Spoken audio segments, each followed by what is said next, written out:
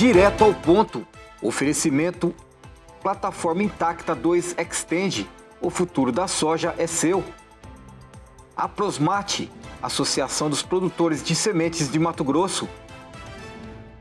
Olá, está no ar um programa direto ao ponto, gravando aqui dos estúdios do canal Rural Mato Grosso. Tenho o prazer de ter aqui o presidente da Aprofir, né, que é o Hugo Garcia. Seja bem-vindo, Hugo. Obrigado, Glauber. O prazer é meu aí poder estar no canal Rural junto com vocês para poder falar um pouquinho sobre a Aprofir. Primeiro me fala então, o que é a Aprofir? Porque essa sigla assim, né, é, deve ser a associação, o que, que, é? Isso, é a Associação dos Produtores de Feijão, uhum. Pulses, Colheitas Especiais e Irrigantes do Estado do Mato Grosso. A gente não, mas a sigla, o Aprofir, assim, não, não, não tem muito o que é FIR. É, Feijão. Ah, daí irrigantes. Isso, daí. irrigantes. Mas daí eu, é, eu termino irrigante. É, ah, irrigantes. Aprofir, porque é irrigação. Ah, a gente é. também cuida desses setores aí no estado. Então agora me fala, eh, quando a gente fala assim, Aprofir, é pulses, né? Certo. O que, que seria pulses, né? Porque pulse é, é, só, é, feijão, é o que, que é? O que, que engloba pulse? Pulse é feijão, calpi, mungo, ervilha, mungo? sim. O que, que, é isso? Mungo, mungo, é um grãozinho verde que é consumido muito na Índia. Ah. Os indianos consomem muito. É, gergelim, gergelim, grão de bico. Isso, grão de bico. Tudo que é, é de proteína vegetal de consumo humano. Tudo que é voltado a isso aí chama-se pulse, né? Então é. Ah, então menos soja. Menos soja. O resto, tudo que for é, tipo uma leguminosa ou proteína vegetal que seja, né? Isso. É, é considerado pulse. Ah, é isso aí. interessante. Porque eu tinha pensado assim, então, no caso de, de milho pipoca não entra, né? Não, não. não. não milho pipoca acho que seria mais um grão especial, né? Uma colheita especial. Até, eu, até a gente conversando, antes você falou assim que no, no, em outros países chama é, colheitas especiais, né? Isso. Chamam isso de colheitas, colheitas especiais. especiais. São grãos que, como eu falei para você, de origem é, de proteína vegetal, de consumo humano, né? Onde estão sendo produzidos muitos produtos hoje que é conhecido fora, que chama-se o plant-based, né? Que, é, uhum. que são é, carnes, né? Que eles criam carnes, você olha parece que é uma carne mesmo, mas é aquilo é de origem vegetal. E está sendo muito consumido por pessoas que são veganas, né, vegetarianas. E a gente até não comenta, não fala mais que são pessoas veganas e vegetarianas, são pessoas que estão consumindo proteína vegetal, né? Se você perceber até as grandes indústrias de proteína de, de, de, origem animal, eles entenderam que eles são produtores de proteína, né? Tanto que nós temos hoje aqui uhum. é, frigoríficos aqui no Mato Grosso que já produzem hambúrgueres é, de origem é, através da soja, né? Uhum. De, então, originário através da soja. Então, assim, são, tudo proteínas vegetais que estão sendo consumidas. Por... Agora, é, é, bem interessante. Agora me fala uma coisa, assim, como é que o Mato Grosso está nisso? Como é que foi a importância disso? Como é que começou? Há quanto tempo começou essa questão de pulsos aqui e chamar a atenção e o pessoal começou a plantar? Então, a Profir, ela existe desde 2014, né? Faz tempo. É, é, já vai, vamos para 10 anos. E o Mato Grosso, ela, hoje o Mato Grosso ele é considerado o maior, é, maior estado de, de de pulsos. De pulsos hoje, de, de terceira é safra. Né? É, é o Mato Grosso é o pulsando. Então, de terceira safra, né? A gente é o maior estado de, de produção na irrigação de feijão, né? De feijão irrigado, que se fala. Então, assim, o estado tem um potencial de crescimento muito grande. Hoje nós estamos com 205 mil hectares de área irrigada no estado. Nós temos um potencial de chegar... Quantos você falou? 205 mil hectares. 205. Nós temos um potencial para é pouco, né, Hugo? Muito pouco. É. Ainda nós temos um potencial que podemos chegar a 8, 10 milhões de hectares de área irrigada. Então, nós temos um grande crescimento aí que vai, nesses próximos anos aí, não é do dia para noite, mas a gente com certeza a gente vai atingir uma boa quantidade de área irrigada, que é onde a gente fala, né? A irrigação é tão importante para o estado do Mato Grosso porque ele garante a primeira safra, né? Nós tivemos uhum. uma crise gigantesca para a soja, garante a segunda safra de milho e te dá uma oportunidade de ter uma terceira safra, que é um feijão, né? Um gergelim, um grão de bico, um amendoim, tem N's, né? Daí você tem um portfólio gigantesco aí que você pode. Agora tem muita gente que vai falar assim, né? O... Ah, poxa, mas Mato Grosso já plaz duas, duas safras, né? Para que que precisa irrigar, né? Então aquela coisa, mas é como você disse, a gente teve esse ano uma safra que, olha que loucura que foi. Sem falar que, por exemplo, que as pessoas falam que a gente tem que ser mais sustentável. Sim. Quando você é mais sustentável, você tem muitas terras mais mistas, mais arenosas, que também precisam de, de, de uma de uma, de uma questão hídrica né, muito mais constante, né, porque não tem uma caixa tão... Eu digo assim que a irrigação é, é, é ela é, um, é, uma atividade muito sustentável. Por quê? Uhum. Eu, eu falo assim, por exemplo, que eu uso dos próprios irrigantes. Né? As pessoas de área irrigada para área de sequeiro, você consegue produzir de 25% a 30% a mais. Produzir, produzir soja, uhum. milho, nessa mesma área, né? ela sendo irrigada e área de sequeiro. Então você consegue produzir mais soja, mais milho no mesmo, no mesmo espaço. E além de tudo isso, tem uma terceira safra. Né? E vou, qual que é a importância da irrigação? Ela te garante, né? Você não vai ligar o pivô é, sem necessidade, mas faltou a, a, a chuva, você está lá, liga o pivô para você naquele momento que você precisa utilizar a água da melhor forma possível, né? E a água, se você não utilizar aquele momento que ela está passando ali do rio, ela vai para o mar e vai se tornar uma água salobra. Então, você utilizando ela de uma forma é, responsável, sustentável, não tem problema nenhum, porque as pessoas falam muito do achismo, uhum. né, que a uhum. irrigação acaba com a água e tal, mas isso é só, é, é, são faltas, eu falo assim que são pessoas que não têm informação, né? Porque a irrigação hoje ela corresponde, ela utiliza em torno, não chega a utilizar meio por cento do volume de água de todos os rios né, no Brasil. Então, assim, é, nunca que ela vai acabar com a água usando dessa maneira.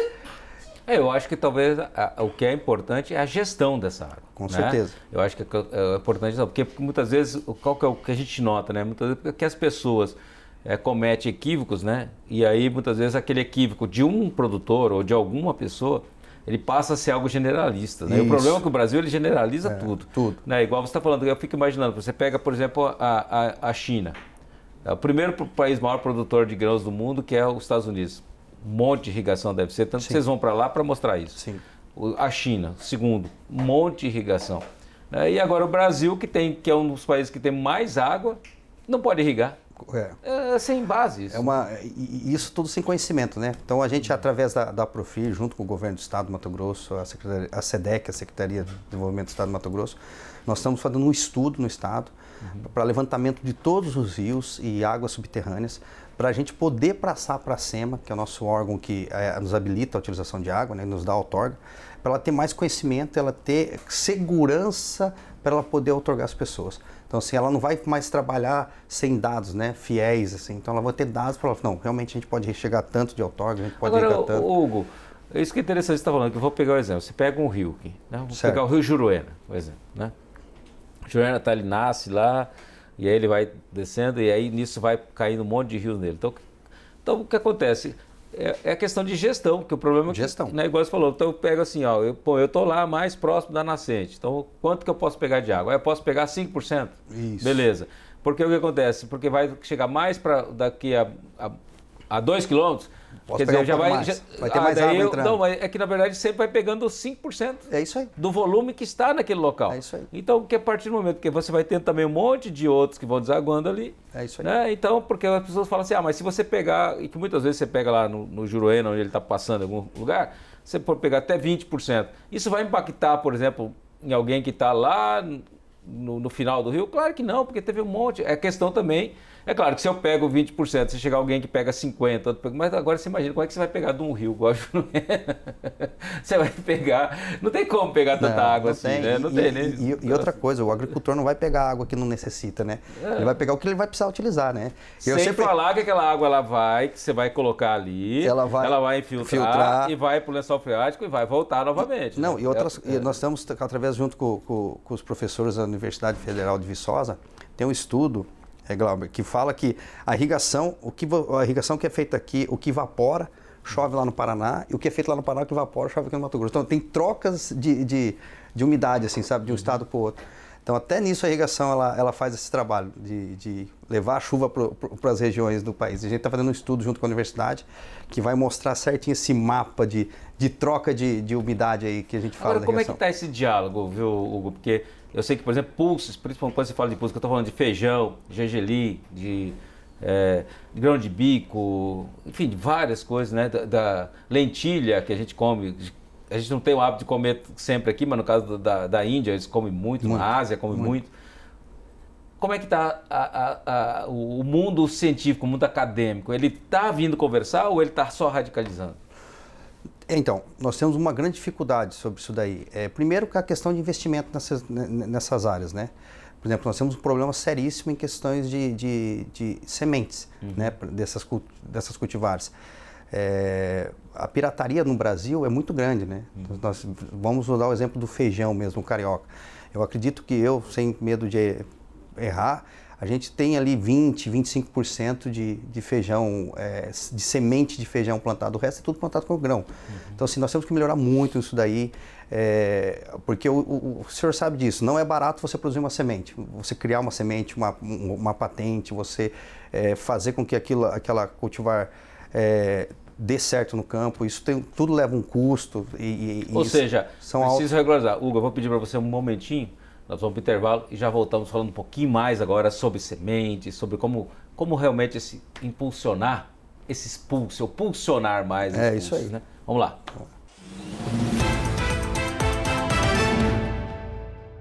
De volta direto ao ponto, conversando aqui com o presidente da Aprofir, Hugo Garcia. Né? Você é da onde mesmo, Hugo?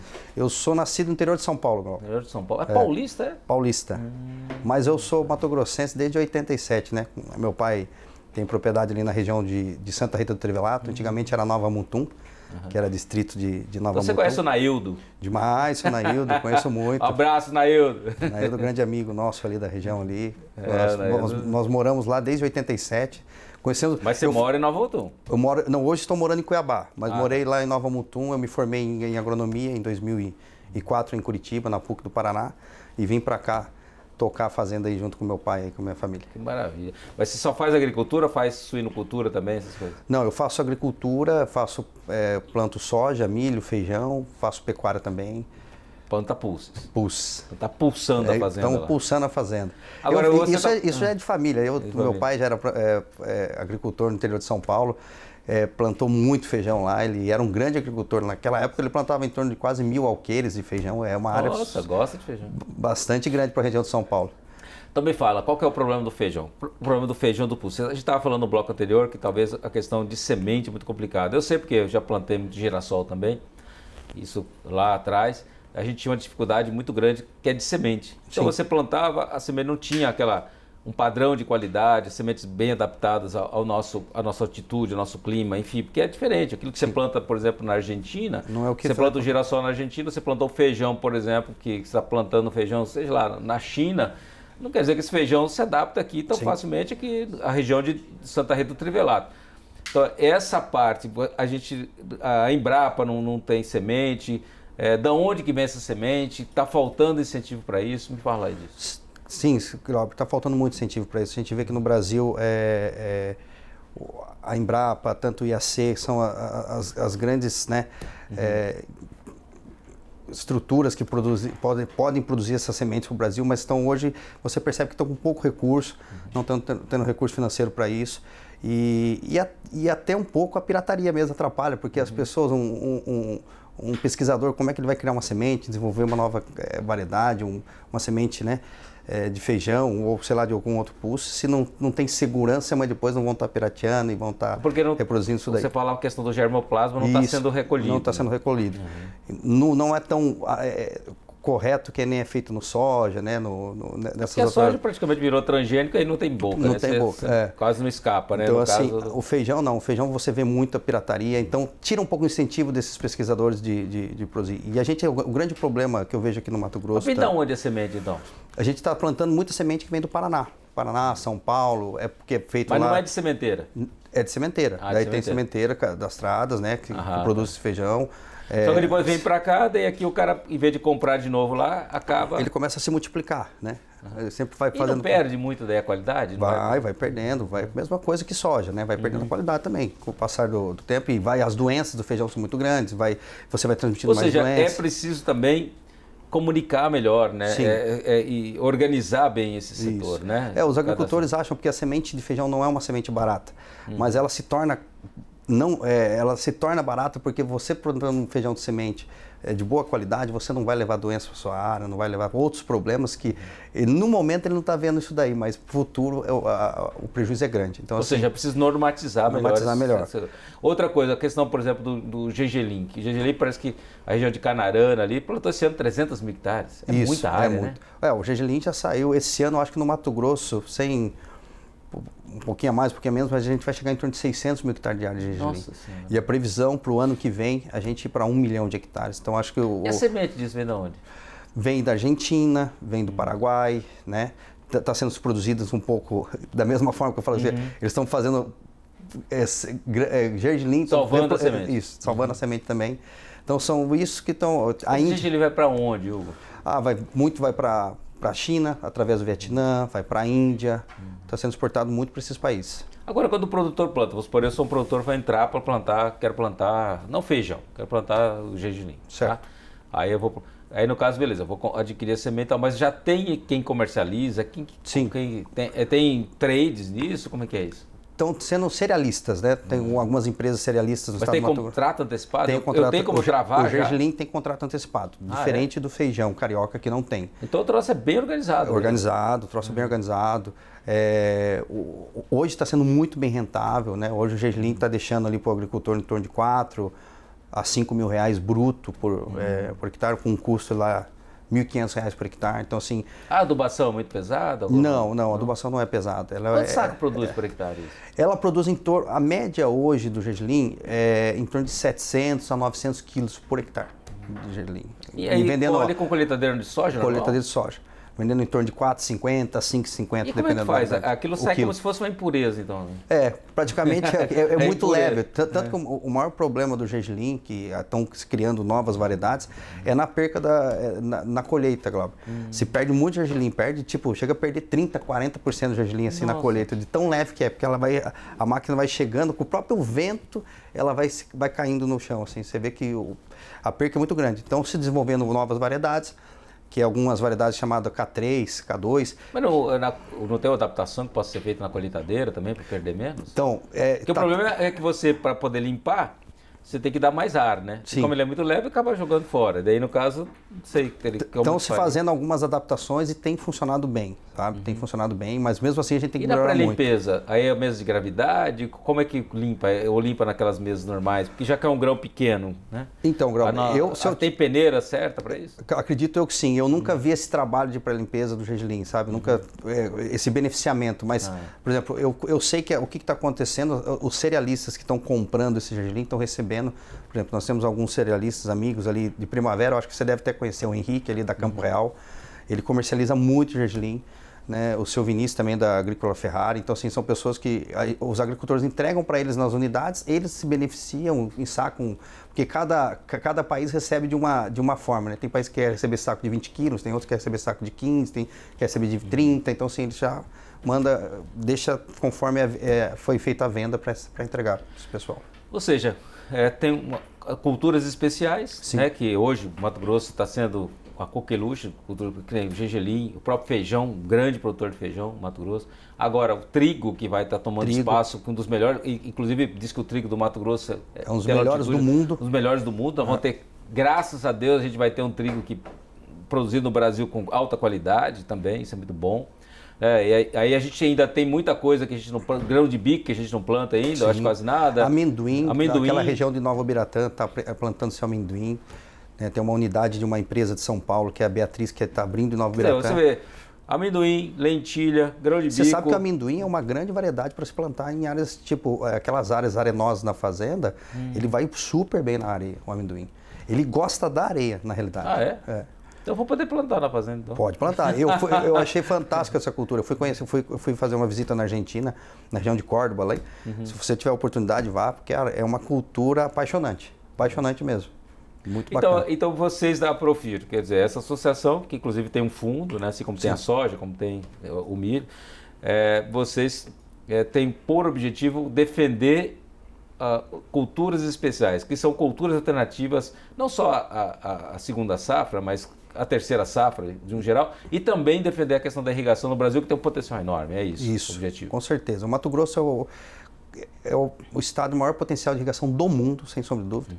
É, quando a gente fala que pode chegar até 8 a 10 milhões de área irrigada no Mato Grosso, você pega a Nebraska, dos Estados Unidos, que é a maior área irrigada dos Estados Unidos, tem 3 milhões e meio de hectares. Então, olha a diferença, nós podemos chegar a quase 10, né? 8 a 10 milhões, então podemos ser três vezes maior que Nebraska, que é o maior do mundo. Então, assim, nosso potencial de, de, de, de área irrigada não tem que nem o nosso É estado. engraçado faz. que no Mato Grosso, por exemplo, onde mais eu vejo irrigação é primavera, né? Sim, primavera, região de primavera, região do, do Alto Telespírito, que a gente fala que é a é a região do 63 ali, Lucas, Sorriso, Nova Mutum, está crescendo-se muito ali, Sinop.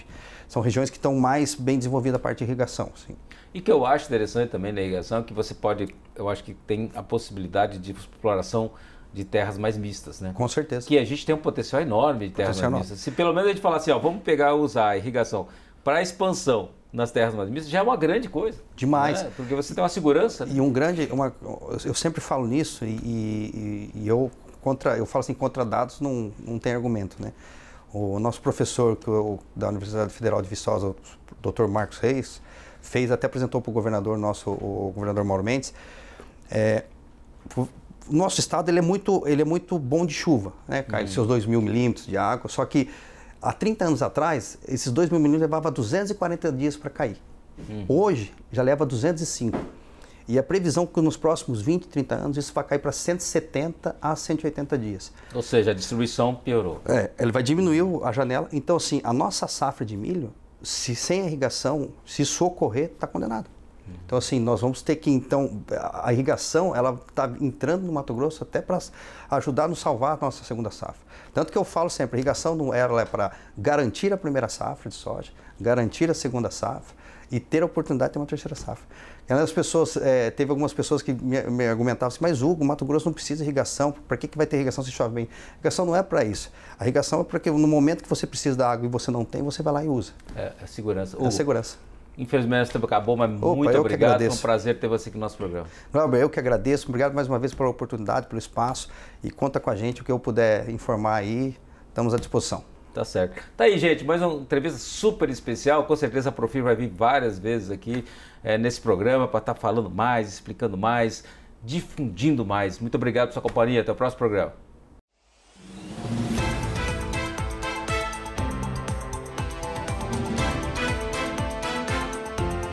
Direto ao ponto.